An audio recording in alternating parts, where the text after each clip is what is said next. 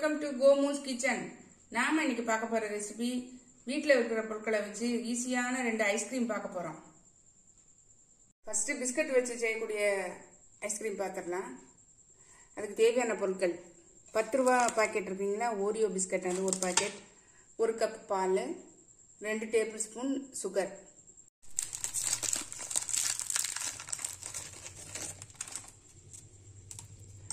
Mixie ஜாரில் நல்லா உடச்சி போட்டுக்கலாம்.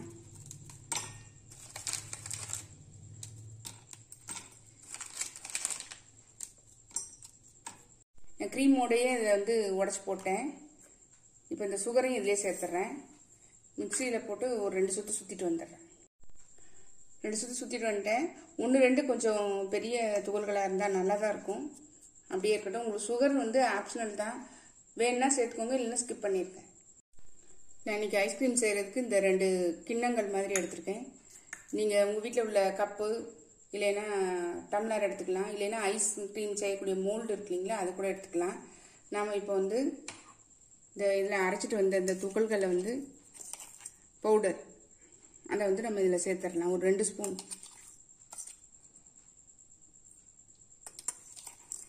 கொஞ்சம் சின்ன சின்ன துகள்களாக இருந்தால் நல்லா க்ரன்ச்சியாக இருக்கும். பவுடரை நல்லா அரைக்கணும்னு அவசியம் இல்லை. நான் பாலை இதில் சேர்க்குறேன். பால் வந்து காய்ச்சின பால் நான் சேர்க்குறேன். இங்கே காய்ச்சின பால் காய்ச்சாத பால் எதுனாலும் நம்ம சேர்த்துக்கலாம். நல்லா மிக்ஸ் பண்ணி விட்டுறலாம்.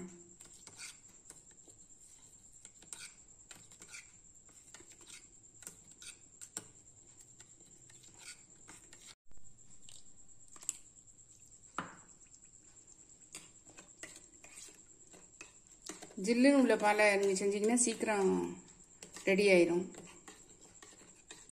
நல்லா மிக்ஸ் பண்ணிட்டேன். நல்லா திக்காக இருக்கிற மாதிரி பார்த்துக்கோங்க. ஒரு பாக்கெட் பிஸ்கட் ஃபுல்லாகவே நான் வந்து இதில் பொடிச்சதெல்லாம் போட்டேன் நம்ம இப்போ இதில் வந்து இந்த ஸ்டிக்கை உள்ள சொருகிடலாம்.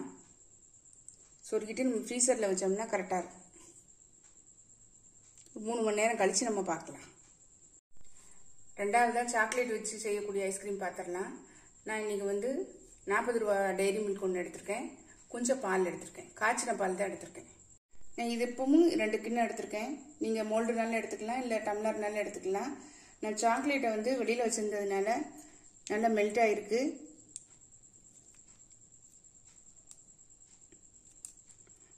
இது ஒரு கால் கப்பு வரைக்கும் இதில் ஊற்றிக்கிறேன்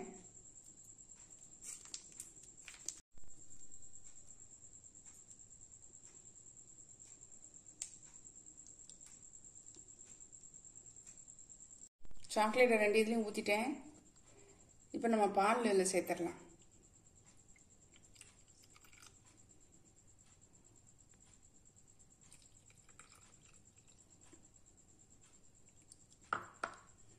நல்லா மிக்ஸ் பண்ணி விட்டுறலாம் அதை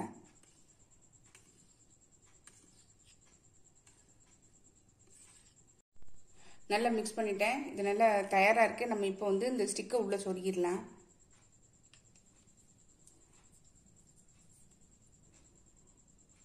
இதை நம்ம ஃப்ரீசரில் வச்சு ஒரு மூணு மணி நேரம் கழித்து பார்த்தோம்னா நமக்கு ஐஸ்கிரீம் ரெடி ஆயிடும் நம்மளுடைய பிஸ்கட் ஐஸ் சூப்பராக ரெடி ஆயிடுச்சு. நம்ம மூணு மணி நேரம் ஃப்ரீசரில் வச்சுருந்தோம். இது இப்போ எடுத்துட்டோம். பாருங்க சூப்பராக வெளியே வருது.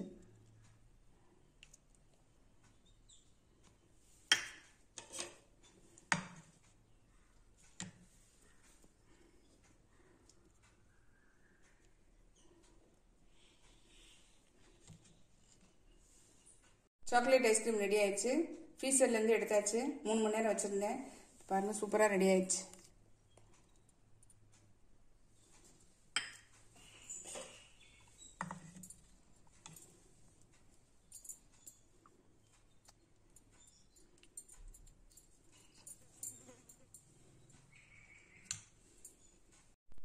நம்மளோட ரெண்டு டைப் ஐஸ்கிரீம் சூப்பராக ரெடி ஆயிடுச்சு. நீங்களும் வீட்டில் உள்ள பொருட்களை வச்சு ஈஸியாக செஞ்சிடலாம்.